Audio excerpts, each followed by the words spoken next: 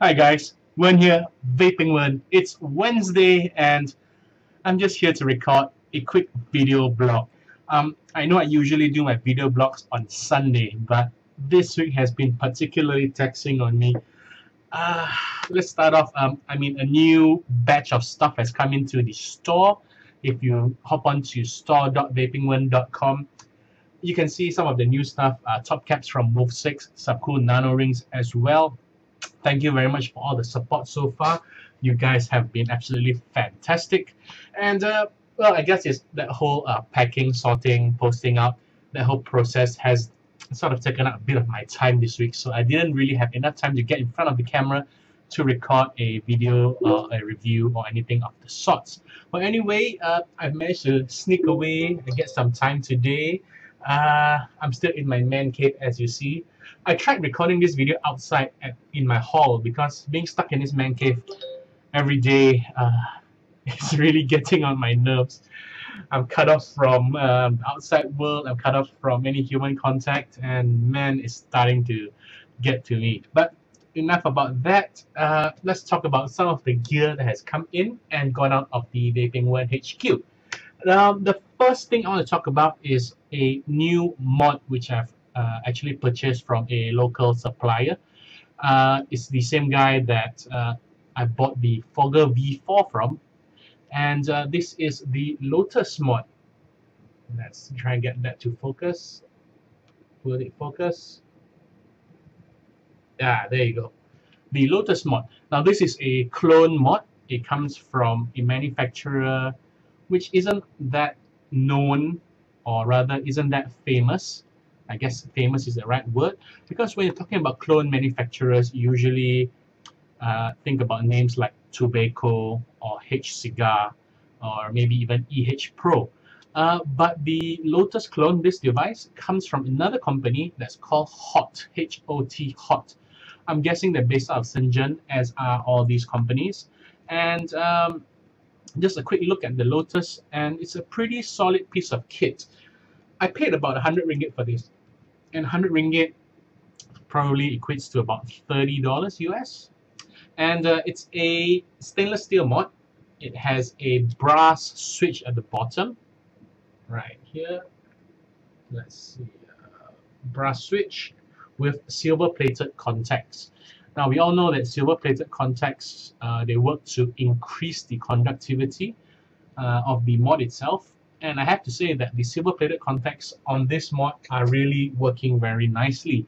Uh, the Lotus comes with a handy hybrid connector like this one, uh, which you use together with the Kayfun 3.1. Now I'm using an authentic Kayfun 3.1. This is from SvoeMesto. And uh, basically how you use this is you take off the collector tank portion of the Kayfun 3.1. Uh, let me just pick it up over here. Now this is the collector tank portion. This usually sits at the bottom of your 3.1 and that sort of collects any e-liquid which uh, floods your chamber.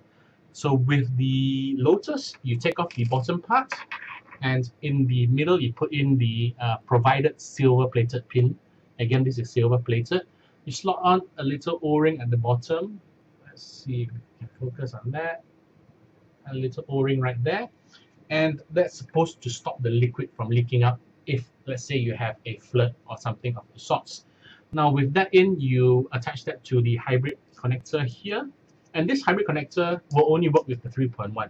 It's threaded in such a way that it won't work with any other atomizers. I'm guessing that it should work fine with clone 3.1 uh, atomizers as well. Um, so once you get that, you adjust the pin a bit and you just thread this directly onto the mod and the pin will the pin will make direct contact with the positive on top of the battery so let's just get this assembled no battery rattle get it unlocked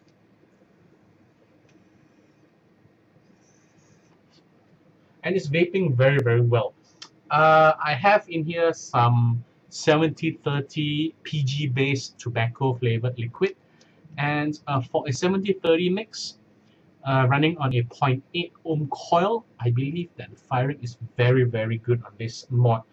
Now, um, I should have done this earlier, but uh, I didn't, so I'm just going to do this right now. Uh, I'm just going to do a quick voltage check, or rather voltage drop check on this mod. With my trusty tankometer, I put back the 510 connector on the top. Let's just have a quick look here. Press that up. The battery is currently at about 3.9 uh, volts. Let's find an atomizer. I have an Xpromizer here let's set at about 1 ohm. So let's see what the voltage drop is like. It's reading 3.4, 3.46.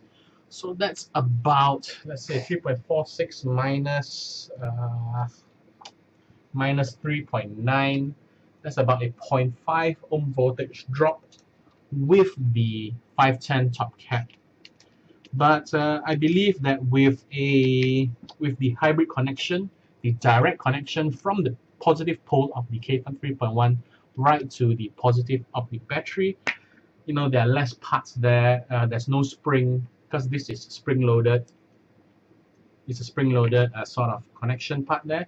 Without all those uh, other parts, I believe that the voltage drop goes even lower. And that's the beauty of hybrids. Uh, you get a very direct connection. So yeah, that's the Lotus clone by Hot. I got it for 100 ringgit, $30. That's the first thing to drop in the HQ. Um, the second thing to drop in the HQ. Now, I'm very excited about this thing because I've been wanting to get one of these ever since I started vaping just over a year ago. And that is the billet box. And this is a V3 billet box uh, it's a Piebald edition. And I'm really just absolutely head over heels happy with getting this. Uh, I picked this up uh, through a friend, brand new, uh, about two weeks ago. If you follow me on Instagram, that's www.instagram.com slash vapingwern or just vapingwern on Instagram. You will notice that I've been whoring this uh, box out quite a bit. Uh, and that's just really because I'm so excited to finally get one. Now, in this billet box, I'm just running a Kato. Nothing fancy, no diver, no diver V2, no billet bridge, although I will be picking up a billet bridge later today. Um, I really find the vape on the billet box to be something really special. Comparing it to a rebuildable, definitely get a very different vape since I'm just using a Kato. Mm, Flavor-wise, okay, no complaints about it. Vapor-wise, definitely much less than what you get on a rebuildable atomizer. And that's simply because with rebuildable atomizers, you can play with all the parameters. You want a hotter vape, you go lower ohms. You want um, bigger clouds, you adjust with the ohms again, you adjust with your materials. but with cartomizers, you get what you get and no complaints from me. It's simple, straightforward, no flooding, no dry hits. Uh, when I need to fill out more liquid, I just fill in more liquid. When the cartomizer tastes a bit burnt or a bit bland, just swap out the cartomizers. No fuss, no worry. And uh, yeah, so I'm just going to take a quick bit from my billet box.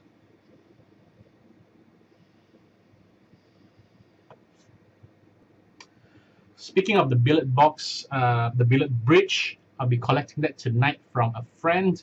And the billet bridge, if you don't already know, it uses BDC heads, uh, Aspire BDC heads, like uh, the heads that I got with the BDC Clearomizer. Uh, how that will work in a billet box, how that will work in a submerged tank, I really don't know. Uh, then again, it's not too different from how the BDC head works in a Clearomizer tank, you know, because it sits right at the bottom too something like how uh, the coil is set up in, let's say, a Typhoon, where the coil is at the bottom and liquid is fed through the sides. So hopefully that will be a different taste. In terms of vapor production, I really do expect much more vapor since the BDC is a bottom dual coil head. Uh, in terms of resistance, I believe this is about 2.1 or 2.4 ohms, somewhere about there. So not too far different from the cartomizer in here. Um, in terms of flavor, yeah, we'll wait and see. We'll wait and see it later. I didn't pick up a Diver or Diver V2 simply because I've heard so many horror stories about them. I've got a, a vaping buddy who's located in Singapore, and uh, he recently picked up a billet box as well. And uh, along with the billet box, he picked up a Diver V2. And uh, just yesterday or the day before, I was having a uh, conversation with him on Facebook, and he was telling me that the Diver V2 is by far one of the most difficult atomizers to coil. Um, every day, without fail, he's either getting a flooded atomizer or a dry heating atomizer. And when you're using cotton as your sort of wicking material, dry hits are never, ever, ever pleasant. They just, they are just so burnt and rank and it just spoils your whole mood when you dry it on cotton. So, yep, uh, I sort of avoided that. I didn't want to get caught up in the whole pain of rebuilding, pain of gauging the wicking material amount, um, breaking of ceramic cups, and things like that. So I stuck to a uh, cartomizer. Tonight I'll be trying the billet bridge. That's that. Um, one last thing about the billet box, I didn't put in a J-wrap. Uh, I recently did pick up a pack of clear J-wraps, but after just a day or so with the J-wrap on, it just didn't look appealing to me. It sort of reminded me of high school when we had our textbooks and we used to wrap them in a clear plastic wrap. It looked pretty bad. But I did leave the uh, protector piece on the bottom here, and that's because you know that's the part that I feel would be most susceptible to getting scratches because I always put it on a table standing upright. So yeah, that's the billet box. Thoroughly, thoroughly enjoying it. Thank you, buddy, for helping me get it it really has fulfilled one of my wish lists in my vaping life. Absolutely stoked. What else has come in? I have received yesterday a box from Germany and this comes from xvape.de, the guys behind the Xpromizer. Now the Xpromizer is this atomizer right here, the same one I used to do that voltage drop test on the Lotus. And uh, the reason why they're sending me a box of stuff is not because they're sending me more Xpromizers, but rather they're sending me parts, things like top caps, spare tanks, uh, 510 connections, uh, and also spring brass springs, or they copper springs, springs that go inside this section here. And uh, that's because during my previous sort of pre-order group buy thingy, um, I noticed that the quality control on that small batch was quite poor. Out of 5 units, 4 were defected. Out of 10, a total of 7 were defective. And that's quite, uh, quite some staggering numbers of QC fails. It feels as if they picked up all the bad units and sent them all to me. It feels that way. And uh, I made my feelings quite clear to the guys over at XVape. Uh, guys, if you're watching this, I'm sorry if I was a bit harsh in my email, but really when I order such a small quantity and I receive so many manufacturing defects, it does reflect quite poorly on you guys since you know that whole German engineering part of it, it didn't seem come true. But hats off to you. Thank you very much for responding to my feedback and for shipping up a part a box of spares so quickly. I will definitely uh, distribute this to the guys affected and I'm very sure that they'll be very happy to receive these parts. Now, just one final comment to xvape.de. If you do manage to maintain the quality, the QC standard, you know, push out, mass produce is fine as long as they adhere to uh, a standard, a good standard, and come out without any manufacturing flaws, that don't come out with problems like crooked uh, chimneys and things like that, then I'm sure that you have a winner on your hands. Because for the price, the Xpromizer, it retails at 49.90 euros and converted roughly, that goes about 210 ringgit. And for 210 ringgit, you can't really get a solid original atomizer. Sure, you can get things like the Kayfun clone or the Typhoon clone for just over 100 ringgit. Uh, but for the guys who are trying to step up their game and move on to the next level, to own original products. I believe that Xpromizer is perfectly priced. It delivers good flavor. It's easy to rebuild, even easier to refill. And that in my books is a very good combination to have. And without a doubt, know, with the right marketing, it should sell like hotcakes. So yeah, that's my bit on the Expromizer. Um, one more piece of gear has come in yesterday, and I'm very happy to get this too. Um, I was ecstatic to get the billet box, but I'm equally as happy to get this. And this is the Prometey atomizer. Let's try and get that focused in. Camera is not playing ball, but this is the Prometey V2. It comes all the way from the Ukraine. It actually uh, made a pit stop in Sabah first before my friend traded it with me. And now it's in my hands. And I'm absolutely loving this tank. Um, just a quick background on the uh, how this tank works. Basically, it works in the same fashion as how a spheroid works. And that is uh, by using filler material like that. You have some filler material in there. Uh, they call go by all different names Cerawool uh, aquarium filters things like that. And basically this filler material it holds your liquid in it. It suspends your liquid up there. You build a coil like this. And this is just a simple dripper coil. You have your two ears you have your wraps in the middle. And uh, you know I'm just that's how it works. And this works like an auto dripper of sorts basically your wicks they go up into the filler material and the filler material feeds the wicks as they dry up. So uh, in essence you are supposed to get a vape very similar to what you get on a dripper and uh, going by that logic if you want more clouds you go lower ohm. But uh, with the way this thing is engineered the closer you push your coil to the air uh, air supply the more vapor you get. The further away you push it supposedly it's supposed to get much harder throat hit. So I haven't really played around with all those settings yet. I just put in a coil, put in a filler material, filled it up, and started vaping away. And until now, you know, I have not stopped smiling whenever I get a vape from this.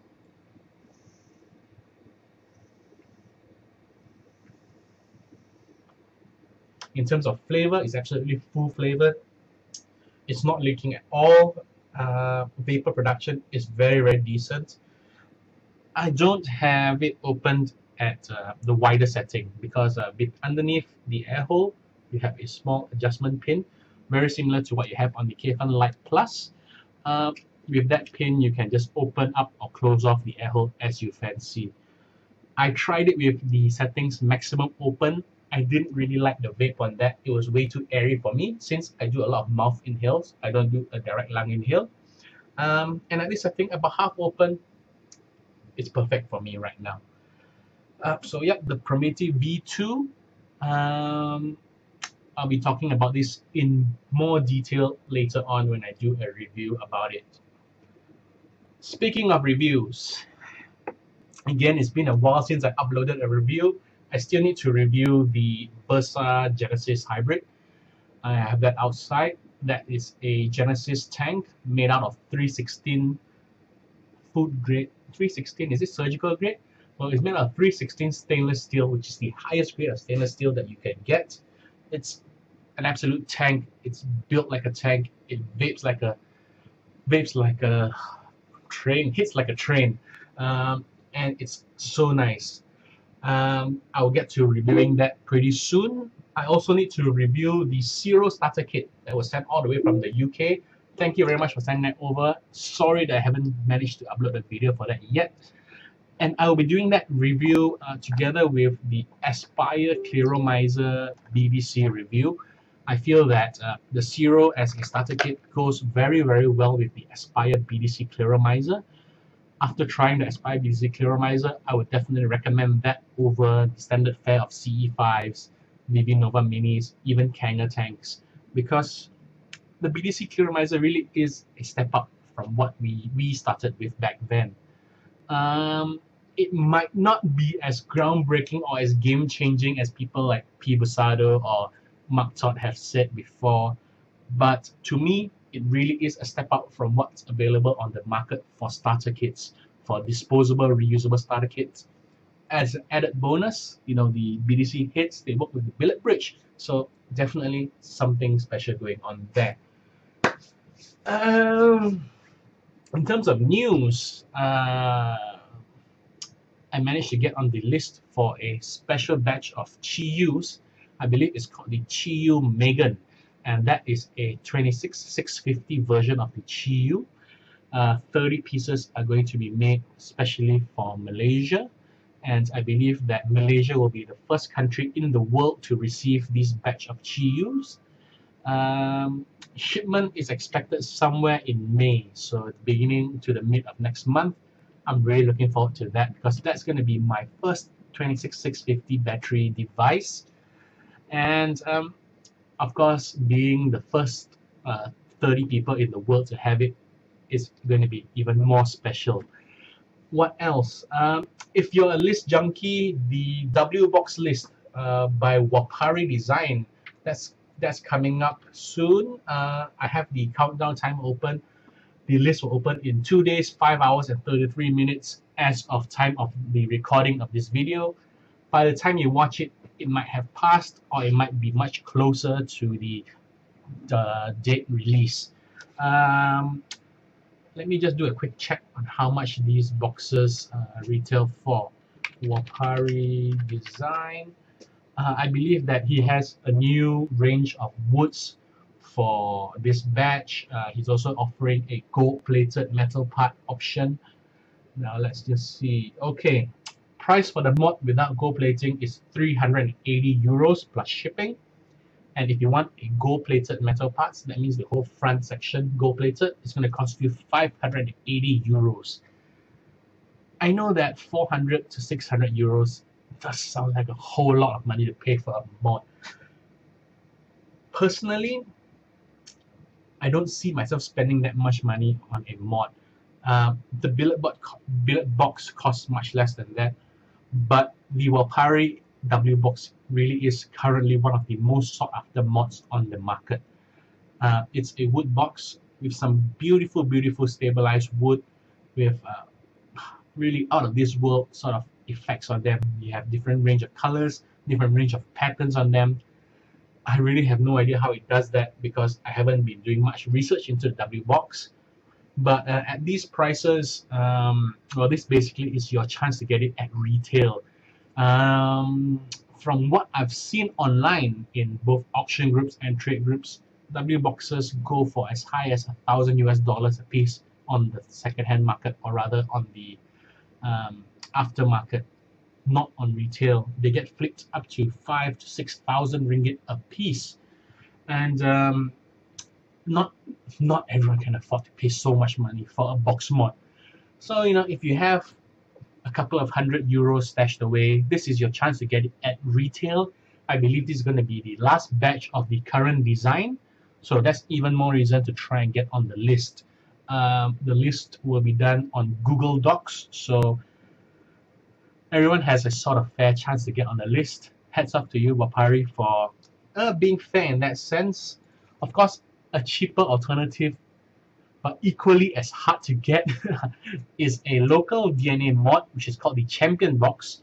It very closely resembles the W Box without the really psychedelic, funky wood that they use. Uh, again, I'm not too sure what type of wood that the Champion Box uses, but that is also very hard to get it comes out in batches of 20 and uh, you know equally hard to get equally as desirable. A very nice made in Malaysia product. Uh, okay so I've talked about my mods. Ah one more thing. Um, I just got this message on Facebook. Let me just put it up. It comes from the guys at Wolvesix I actually uh, managed to get myself a pair of Kapak mods uh, the Kapak mods are made in Malaysia. There are two or three versions. The versions that I'm getting is the Kapak Merah or the Red X translated into English and that's going to be made out of red copper and the other version is the Kapak SS which is the uh, stainless steel X mod. Uh, both are 23 millimeter mods. They have 21 by 1 threading which is the same threading as the Chiyu and they are sort of a collector's item since they are also made in small batches. I believe the batches are about 30 pieces per run or 50 pieces per run. And for a copper mod made in Malaysia at a decent price. Um, you know, let's try it out. Let's try it out. I will be reviewing both the copper version as well as the stainless steel version on the channel. I'm looking forward to using both. Both would look great with my Typhoon GT and my Xpromizer. So I'm very happy about that. Thank you uh, guys for helping me get one piece of that too. Okay, so that's about it. That pretty much wraps up my video blog today. Um, I've covered all the bases. I've been babbling on and on. Let's look at the timer. 25 minutes, 36 seconds. Way too long. You've listened to me enough. Well, it's Wednesday again. Two days to the weekend. Aren't you just looking forward to that? Well, until then, Vapon Brothers, have a good and productive week. And uh, I'll be seeing you again soon. Vapon, guys.